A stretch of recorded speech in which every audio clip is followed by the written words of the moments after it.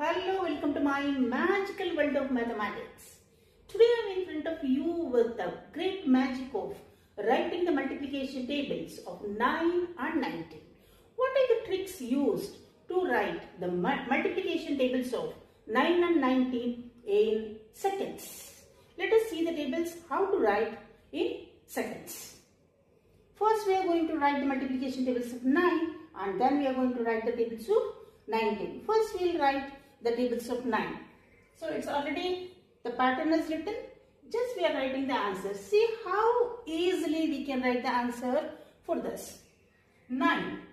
Right here, 0, 1, 2, 3, 4, 5, 6, 7, 8 and 9. Okay. And next to this, write the numbers in descending order. 9, 8, 7, 6, 5, 4, 3, 2, 1, 0. 9 tables are over. 9 ones are 9, 9 twos are 18, 9 threes are 27 and so on. So this is how we can write the multiplication tables of 9 very easy. And now let us see the tricks for writing the uh, multiplication tables of 19. To write the 19 what we should do? First we have to write the odd numbers one after the other.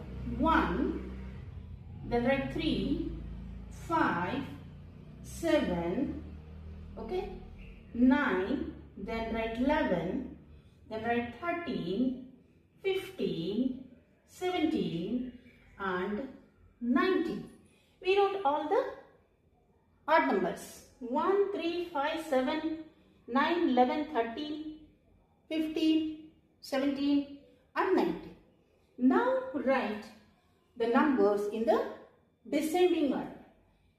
9, 8, 7, 6, 5, 4, 3, 2, 1 and 0.